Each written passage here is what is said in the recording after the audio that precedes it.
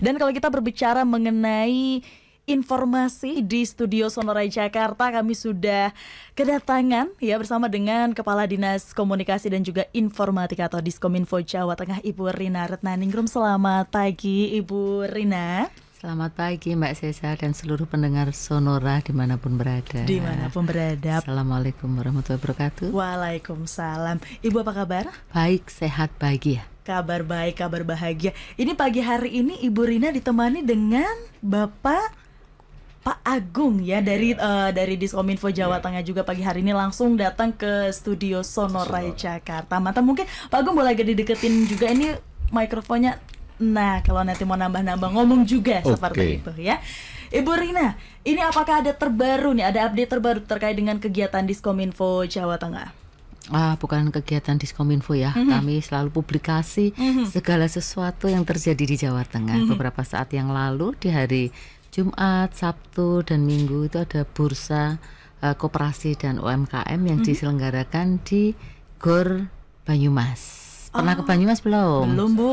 Uh, Gor Satria ya namanya hmm. Gor Satria. Hmm. Oh itu di sana seluruh produk UMKM yang ada di Jawa Tengah ditampilkan. Mm-hmm. Betapa kerennya 10 tahun UMKM mulai yeah. dari pertama kali uh, pemerintah provinsi Jawa Tengah mengadakan pendampingan mm-hmm. 10 tahun yang lalu nih yeah, yeah. sampai hari ini sampai bisa ekspor ke luar negeri. Luar biasa. Meliterasi ya. seluruh pelaku UMKM, mm-hmm. support dari pemerintah, mm-hmm. uh, bantuan, pendampingan, kemudian bimbingan dan mm-hmm. sebagainya. Itu baru saja dilakukan kemarin okay. Jumat, Sabtu, Minggu. Tiga Peminat, hari ya. Tiga hari mm-hmm. yang nonton luar biasa. Antusiasmenya tinggi juga nih berarti oh, ya? sangat tinggi.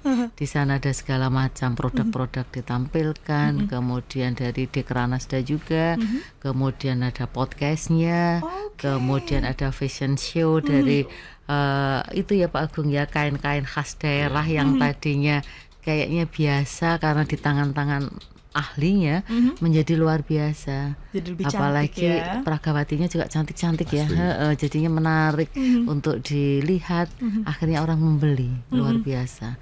Ada investor juga dari Australia yang iya. kemarin yeah. beberapa Wah, bakal negara. langsung datang dari Australia. Mm-hmm, sudah ekspor ya. dan juga ekspor produk mm-hmm. UMKM mm-hmm. ke Prancis. Oh, yeah. Oke. Okay. Negara-negara ditampilkan di mm-hmm. sana. Ha. Dan menyampaikannya bahasa Indonesia ya Pak yeah. ada bahasa Jawa segala campuran luar biasa serta ditayangkan di layar yang hmm. Berarti antusiasmenya tinggi, kemudian kegiatannya juga berjalan dengan lancar iya, ya, Ibu ya. Perekonomian menggeliat Pereko pastinya. Hmm. Nah, ini menarik sekali. Kenapa kemudian UMKM ini menjadi perhatian dari Diskominfo Jateng, Bu? Uh, karena itu kita meliterasi masyarakat mm -hmm. agar pelaku UMKM yang ada di Jawa Tengah ini yang sudah dilakukan pemerintah. Pemerintah sudah mm -hmm. hadir di tengah-tengah mereka. Ayo kita bergerak bersama. Produk yang kamu tampilkan jangan biasa-biasa saja, yeah. harus luar biasa. Ayo bersama kami. Gitu ya Pak Agung yeah. ya. Oh. Kita memberikan kemudahan melalui akses mm -hmm. ya jaringan komunikasi, informasi kepada masyarakat, diberikan kemudahan-kemudahan untuk apa uh, mendapatkan informasi bagaimana mm -hmm. sih untuk mendapatkan kredit lunak, yeah. bagaimana sih untuk mendapatkan edukasi, layanan fasilitasi, hmm. permodalan, bimbingan teknis, hmm. kemudian bagaimana meningkatkan kemampuan di era digital itu hmm. kita semua serahkan kepada apa kita create oleh Kominfo, kemudian kita share kepada masyarakat. Hmm. Nah, itulah cara uh, tidak langsung yeah. pun kita juga memberikan peran mm-hmm. yang positif bagi pemberdayaan UMKM. Berarti dibuat jadi digitalisasi bisa Betul, kita bilang kita berarti juga ya. buatkan mm-hmm. aplikasi-aplikasi mm-hmm. untuk apa uh, lapak mereka kita buatkan aplikasi penjualan. Kemudian kita juga mengakomodir pengadaan barang jasa mm-hmm. pemerintah untuk UMKM mm-hmm. yang namanya Blangkon okay. itu dan ya langsung itu juga apa uh, kita buatkan untuk memberikan akses produk-produk UMKM untuk mm -hmm. kita kita kita serap kita pakai oleh pemerintah seperti itu. Wah luar biasa Iya. sekali. Saya jadi penasaran juga. Ke, sayang sekarang kemarin saya nggak ke Banyumas pengen melihat si acaranya. kita live anu kok kita siarkan lewat daring juga loh. Wah saya Oh, harus oh. update juga di berarti Oh, sebagai cari warga Jawa aja Tengah ya di Bu YouTube ya, YouTube Iya. pemerintah provinsi Jawa Tengah. Masih ada ya Bu Masih ya? ada, Nah, selalu ada. Saya jadi sedikit terpanggil karena sebagai warga Jawa Tengah ini nampaknya ya. Ibu, eh, ini juga kemudian kalau kita berbicara tentang tahun ini, ada nggak sih ini hal ataupun juga prioritas ataupun target dari Diskominfo Jateng untuk tahun ini? Tahun ini pastinya kami harus mempublish apa saja yang sudah dilakukan pemerintah provinsi Jawa Tengah eh, bahwa kita sudah melayani masyarakat dengan mudah, murah dan cepat. Oke. Itu adalah garis bawah yang harus kita eh, pahamkan kepada masyarakat. Masyarakat pemerintah sudah hadir di tengah-tengah masyarakat dalam hal apa saja yang mereka butuhkan.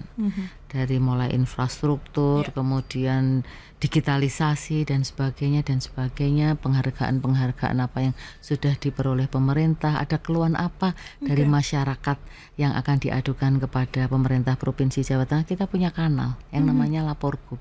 Dan dalam satu kali 24 jam eh, dinas terkait. Tentang pengaduan masyarakat harus sudah bisa merespon. Oke. Oh, gitu. Biar cepat tanggap juga jadinya Iya, ya, Bu, ya. Iya. cepat, mudah, murah, cepat, tuntas. Wah, Iya. banyak Hmm, komplit. tuntasnya itu. Iya. Mm, mm, Mhm. mm, mm. Itu yang menjadi target ya. Mm. Pak Iya. Agung gimana ada Iya, tambahan Soalnya juga? dari sisi internal kita juga sedang membangun sistem pemerintahnya, tata kelola pemerintahnya ya Bu ya, SPBE. mm, mm, Itu juga apa eh, merupakan target kita untuk kita terus kita apa kita wujudkan Ya. sistem pemerintahan itu karena kan kita sudah di era digital, maka Benar. kita harus move on ke sana. Iya, benar. Pemerintah pun harus menyesuaikan kondisi seperti itu. Ya. Maka eh, kita saat ini sedang eh, apa terus eh, mewujudkan SPBE sistem pemerintahan berbasis elektronik. Kemudian infrastruktur sudah terbangun data center. Kemudian juga merumuskan satu data, Oke. big data.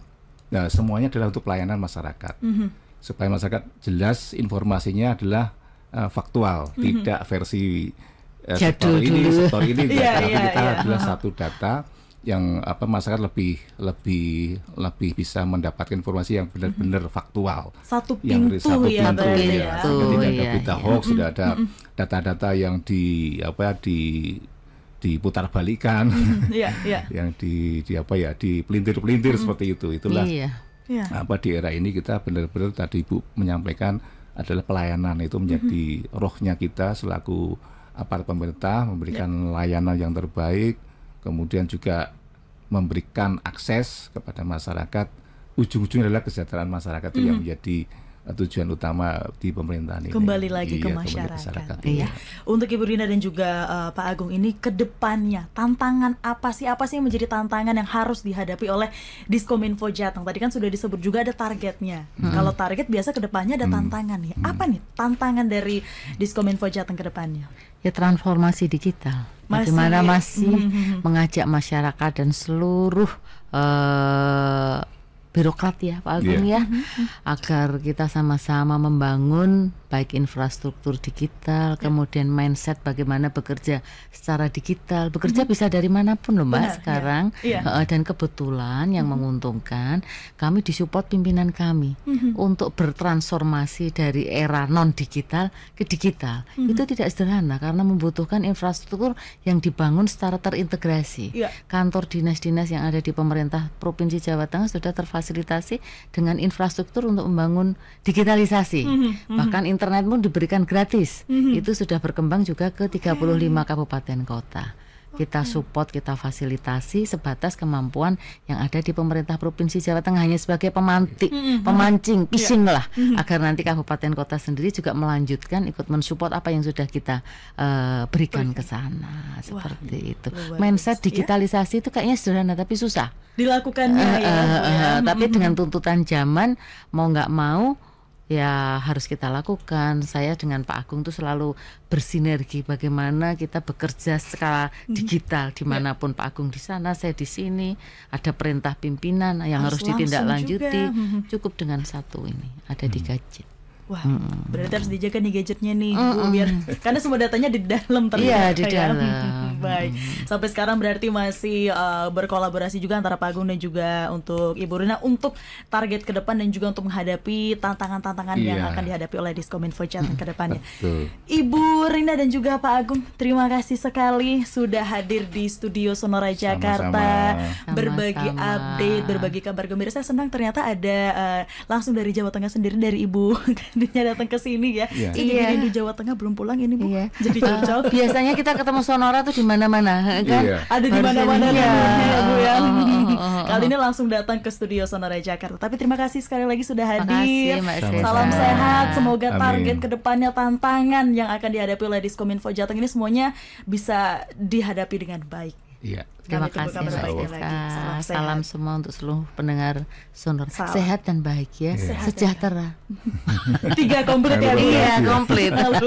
Terima kasih, terima kasih kasih. kembali. Iya. Dan demikian tadi sahabat Sonora wawancara singkat kami dengan Kepala Dinas Komunikasi dan Informatika Diskominfo Jawa Tengah Ibu Rina Retnaningrum dan juga ada Pak Agung yang juga merupakan tim dari Diskominfo Jawa Tengah. Dan sahabat Sonora untuk update lainnya ataupun juga lagu-lagu terbaik lainnya akan kami bagikan untuk Anda tetap bersama kami hanya di Sonora Hits.